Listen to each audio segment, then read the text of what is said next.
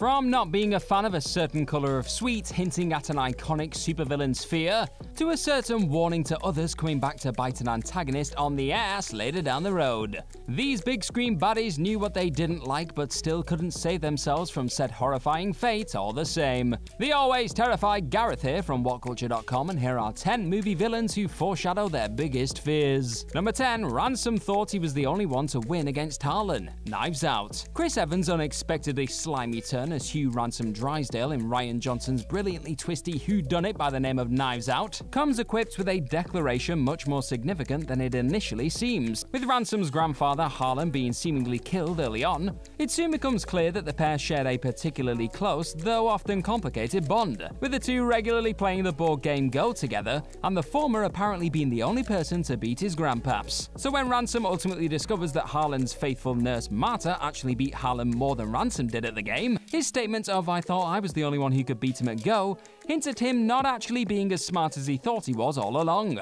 In the end, Marta is actually able to outwit the hot-headed Ransom into confessing his murdering of Harlan in front of Benoit Blanc, hammering home a fear Ransom had no doubt harbored from the second he realized Marta was better at Go than he was. Perhaps he wasn't actually the smartest person in the room all along. Number 9. Venom is scared of the Red Ones. Venom 2. Let There Be Carnage. Now, sure, he may not technically sit as the out and out antagonist of his own Sony big screen stories, but with Venom acting as one of the most notable villains ever to grace Spider Man's Rogues Gallery, he just about qualifies for the purposes of this list because it's my list, I'll do what I want. With that in mind, the impulsive symbiote makes it clear pretty early on in Venom's sequel Let There Be Carnage that he is particularly frightened of one specific brand of fellow ball of goo via his separating of his beloved chocolate. When chowing down on some M&Ms early on in the flick, a collection of red-colored versions of the sweets can be seen left out on the table, with Venom slash Eddie Brock refusing to go near them. As it goes, Venom is shown to be entirely spooked by what he brands as the red ones of his kind, seen in his first encounter with Carnage later on in the day. Clearly, Venom's deep-rooted fear of this type of symbiote has had quite the impact on his often unsettling eating habits. Number 8. Everyone's suicidal, including Harry in Bruges. The shocking death of Ralph Fiennes Harry Waters in the outstanding Martin McDonagh black comedy In Bruges was remarkably hinted at by the intimidating man himself on a number of occasions when seemingly letting his guard down a tad. Firstly, during an exchange earlier on with Brendan Gleeson's Ken Daly, Harry is quick to note one of his deepest, darkest fears by confessing that I'm suicidal, you're suicidal, everybody's effing suicidal. After being told that Colin Farrell's Ray is, you guessed it, suicidal. On top of this, Harry also remarks at one point in that chat, if I had killed a little kid, accidentally or otherwise, I wouldn't have thought twice, I'd have killed myself on the spot. Sure enough, making his deepest fears a reality late in the day, after seemingly shooting a child in his pursuit of Ray, despite it not actually hitting a kid and merely Jimmy dressed as a child, Harry pulls the trigger on himself shortly after. Number 7. Hoskins notes how Blue's loyalty cannot be bought. Jurassic World. In the unveiling of his grand plan to eventually utilize the once extinct beasties being housed in Jurassic World as biological weapons in the real world, Vincent D'Onofrio's Vic Hoskins seemed to hint at perhaps his only real fear when it came to setting this scheme into motion. As he puts it when discussing the potential game-changing velociraptors to Chris Pratt's dino wrangling Owen Grady, their loyalty cannot be bought. Unfortunately for Hoskins, that's something he'd eventually discover for himself in the flesh in the film's closing stages. When attempting to keep said dino weapon dream alive by gaining possession of a few more embryos, it's here when the despicable InGen head of security operations attempts to convince the incoming predator that they were both on the same side. Sure enough, remaining fiercely loyal to the person who'd helped raise her, Delta instead opted to attack Hoskins there and then, protecting Owen and the gang whilst killing the person she'd clearly wanted to chow down on for some time. Number 6. Elsa can't pass up the chance to grab the Holy Grail, Indiana Jones and the Last Crusade. For better or worse, some folks will simply stop at nothing to get the thing they want most in this world. And it was Alison Doody's Elsa Schneider's fear of not being able to gain possession of the sacred Holy Grail that drove her to stabbing her one-time lover Indiana Jones in the back throughout the runtime of The Last Crusade. But it was some rather specific words to one of the Jones men she seduced that eventually acted as a rather unsettling piece of foreshadowing for her eventual fate. As Elsa noted to a clearly disappointed Henry Jones Jr., don't look at me like that, we both wanted the Grail, I would have done done anything to get it, you would have done the same. This, coupled with Indy's response of I'm sorry you think so, would eventually play into the film's climactic stages, with Elsa trying with all her might to grab hold of the Grail despite it likely leading to her death. As she held onto Jones's hand above a recently made crevice. In the end, her glove would fatally slip from Indy's grasp as she tried to do anything to get the prize, with Jones instead letting it go as he alluded to earlier on. Number 5. Colonel Quaritch's Pandora wildlife warning comes back to haunt him. Avatar. Stephen Lang's Colonel Miles Quaritch wasted little time letting the troops in attendance, and folks watching Avatar at home know that out there beyond that fence, every living thing that crawls, flies, or squats in the mud wants to kill you and eat your eyes for jujubes. And while the fearsome military leader of the RDA very much gives off an air of unwavering determination for much of the runtime, this all plays into James Cameron's sci-fi monsters conclusion, as we see Eywa unleash all of her natural fury on Quaritch and his forces late in the day, with everything from flying beasties to 10-ton hammerhead titanotheres trying to kill the RDA invaders. And Quaritch himself succumbs to a number of arrows from the native Na'vi Neytiri before all is said and done. But you simply cannot keep a good colonel down, it seems, with Quaritch being set for a return in this year's The Way of Water.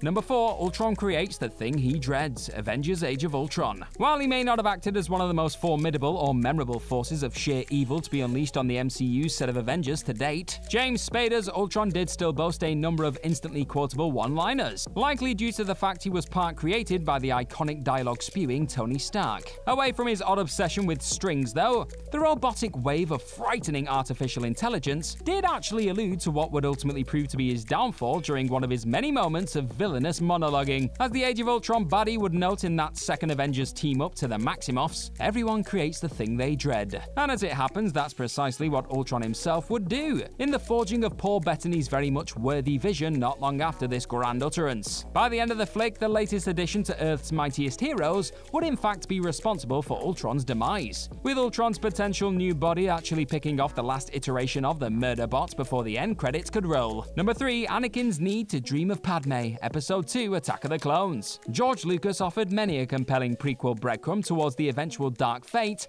that would consume apparent chosen one Anakin Skywalker. But away from the numerous visual hints, Lucas also made a point of adding a few subtle touches of foreshadowing into the future Darth Vader's dialogue that would set the stage for the events that would prove to be the catalyst for his fateful fall. It's no secret that Anakin possessed a fear of losing his beloved Padme Amidala for much of his prequel existence. But what you may not have clocked is the fact that Anakin himself seemed to actually set his greatest fear into motion, with one unfortunate line early on in Attack of the Clones. Whilst conversing with his master Obi-Wan Kenobi, Anakin declares, I'd much rather dream about Padme. And as would later become clear, Skywalker's dreams of his loved ones tended to have fatal results for the real-life focus, as seen in his mother eventually dying as she had done in said dreams. Skywalker would of course eventually get his wish, but said next bout of Padme visions brought him one step closer to perhaps his biggest fear becoming a reality. Number 2. Gordon Gekko doesn't want to waste time, Wall Street. An obsession with greed and needing to make a frankly absurd amount of money at all costs is always likely to come back to bite just about any cinematic antagonist on the ass, before their big screen journey has come to its conclusion. And in Michael Douglas's enthralling Gordon Gekko, 1987's Wall Street perhaps came equipped with the very personification of greed. But there was actually a very human fear seemingly driving Gekko to take part in his illegal insider trading antics. As Gekko would explain to Charlie Sheen's Bud Fox when talking about the concept of hard work not being all it's cracked up to be, the relentless force would note, I'm talking about liquid, rich enough to have your own jet, rich enough not to waste time. However, in his efforts to earn enough cash through his nefarious insider trading methods to not have to waste time,